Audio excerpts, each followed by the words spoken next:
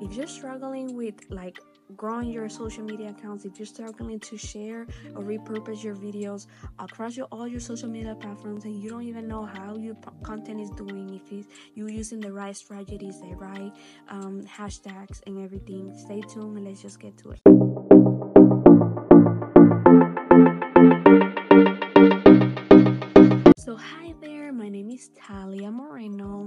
mompreneur and I'm here because I seen a lot of people struggle when they repurpose their content or they just ran out of ideas of content or strategies that you can use across all the platforms.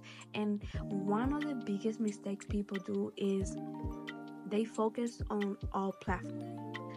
You can repurpose your videos, but you should focus on at least one or two so if you have a TikTok, you have um, Instagram, Facebook, and YouTube, which are like the main ones, I will focus with at least two of them.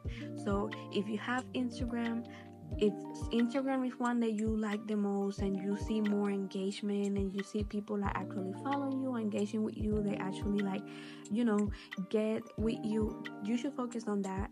And um, if you want to focus like on TikTok, you know, just keep trends with the sounds, like whatever platform work for you, that work for you the most, that's what you should focus on most of your time. Okay, so at least if you have a TikTok, if you have um, a Facebook, that is really like like you get people to engage with you you get really really rude like insights and reaction from people people actually like purchasing from you or just engaging with you in general. That's what the apps that you should focus the most okay? So for me my most like engaging um, apps are um, tiktok and instagram. So i focus on creating content that can match both of the um, apps. Um, but for everybody, when you do Instagram, right now, most of the videos that really like go viral or get more engagement are short videos that are like five to eight seconds. Okay, so it's very simple to um, just do trending sounds and then things that you can like mash or make it related to your business okay or whatever you're doing. So if you are looking if you are like somebody that is working in digital marketing you can relate things to that. Um, if you have a health and wellness business you can relate it to that. Simple as that. Just relate it to your niche and your audience and you should be good. But like i said you should focus on short videos that are from five to eight seconds seconds. Um, doing carousels are a big big thing. You can do tips. You can do like sharing some information that is like in different slices. You can do that. It's very good. It create engagement. People can save it. You know just follow you and keep track of it it's very good the third thing on Instagram is the stories. Stories is where you do most of your sellings and you create things that you can engage with people. You can ask questions, you can do polls, you can uh, just share about an opportunity and just put your link. You can ask questions, like I said.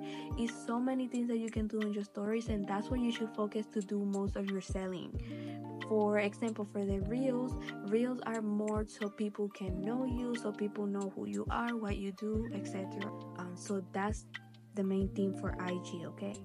At least if um, for me for tiktok i do videos that are gonna be more engaging or people can relate to my content but they're a little longer. I do videos from 7 to 30 seconds and i do most of my talking videos like if i'm talking for more than 30 to 45 seconds i do that mostly for tiktok and then I just use those videos and I repurpose it on my YouTube channel. Um, and from my IG, I have it connected to my Facebook. So if I, I have two IG accounts, so those two G accounts, when I create the content, one goes to a Facebook page and one go to my regular Facebook account. So I make sure that I just go there, so I don't gotta like go to Facebook and post the video and do a caption. No, it just goes straight to my account. Okay, so that's like a time relief thing. So if you wanna do it, do it. I totally recommend it. But that's what it is. If Facebook work for you, do Facebook. Facebook is more like you create content that you can share, things that people can like. If you have an image that they can you know engage with the image even if it's funny if it's showing uh, in, like an educational um, information or just you know sharing something um, and facebook groups um, facebook is very very big on facebook groups. So you can have different groups that you can share your content you can talk about your business uh, etc you know. So that's why if if that worked for you then you should do it. Like i said you do the most of your for your content that work for you on the platform that you feel more comfortable. Don't try to focus on everything because you're gonna get overwhelmed with it. I used to just try to do everything at once and it was just putting me more farther than what I wanted to do with my business. So that's why it's like, okay, I need to sit down, see where I do the best with my content, where I get more people, where do I get more leads and stuff like that. And that's what you should do it. I know ladies, they are very successful on Facebook and they even created their own training and digital products and stuff like that for Facebook because that's where they get most of their customers, more of their sales, leads, and they've been growing super good um, and they get a lot of engagement from there. But if you're somebody that you can master Instagram, then you should focus that. I even have a digital product that helped me because Instagram is very uh, connected with threads. So if you know threads, this is something that you can use to grow um, both accounts, your Instagram and your threads. Like even with that, I made most of my sales with Instagram and threads. With my digital products, my courses, you know, um, my other opportunities, I've been getting all my leads and like all of that through Instagram and threads. So that's what I should I focus more now, okay? And I keep trying to grow my accounts um, every single time, just trying to match the sounds, the trending stuff, just check the algorithm, see what is doing the best. So I try to like build my strategies um, based on that, okay? And with TikTok it's the same. I just repurpose my videos and I try to go live. I go live most on TikTok. Um, but like I said, it's just doing whatever is best for you. If you work on that platform, then just just do it, okay? With YouTube, YouTube is just like the best out there because you can just go into your like a private browser and you can just search what people are looking for and you can start creating videos. Like even now they have the option that you can have short videos up to three minutes okay? So you can start posting videos very quick showing how to's tips talking about your business eh, you know very educational inspirational stuff motivational whatever it is you can do it in there. And even on long videos anything that is past one minute is considered a long video as well. So if you want to talk about something for five minutes, whatever you're passionate about from your business or whatever you do, and you feel like you can talk about that topic for hours, that's what you should focus on YouTube. Search what people are looking for and relay that into your business.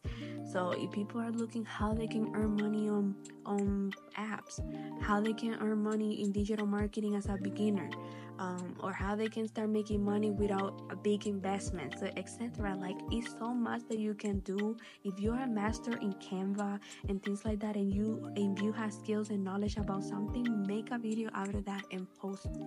Don't think about it. Don't make it too fancy. Don't worry about the background or if you had all the lighting and all the, you know just post the video because you never know who's gonna reach out to your video, who's gonna see your video and they wanna like I like what she's saying let me see what she got. And you know, you always can do this around your schedule. Like I always tell people, social media is the main thing that you focus when you want to monetize that because it's so many ways that you can monetize your social media platform so many ways that you can use your social media platforms to grow your business so always search and do your research on what can help you and your business get where you need it to get so you can achieve your goals so you can get more income streams and stuff like that. So do that. If you want more information i'm gonna have a, a few google docs that you can download for free that is gonna help you like establish like what you should focus the most and you know questions that can help you like solve whatever problem you're going through in your social media platform with your niche like if, if you're having trouble with your target audience etc with content everything is gonna be on those google docs so go ahead and click the description box and the links are gonna be there for you to grab it if you're interested of the opportunities that i offer um, to earn and have multiple income streams. The link is gonna be below as well. And don't forget to follow me on my social media platforms. You know, asking any questions, just stay tuned with me during my journey of growing in life, in, in my, you know, in my business, everything. Um, but if you have any questions, feel free to drop it in the comments. Like I said, I'm gonna keep coming with more videos that can help you uh, not only understand your social media platform, how you can make money online, anything that you need to motivate yourself, tips and tricks with like tools um, like editing video tools, Canva, whatever it is. I'm gonna come back with more videos to help you in everything, okay? So thank you so much for watching, and I will see you guys the next one. Bye.